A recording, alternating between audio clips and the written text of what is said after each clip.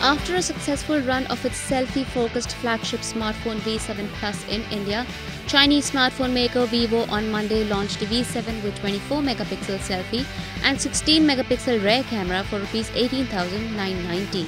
Available in champagne gold and matte black colors, Vivo V7 will reach retail stores from November 25th. The device was available for pre-booking orders on Flipkart from Monday.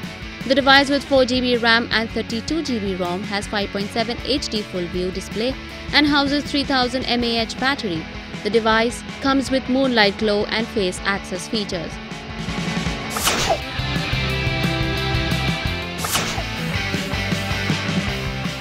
At a time when online gaming is gaining a foothold in the country, HP on Monday introduced a new lineup of its fastest growing Omen gaming notebooks. HP Omen 15 and Omen 17 laptops feature the latest NVIDIA 10 series GTX graphics, high resolution display, and optional G-Sync technology, and a single access service panel to upgrade RAM and storage.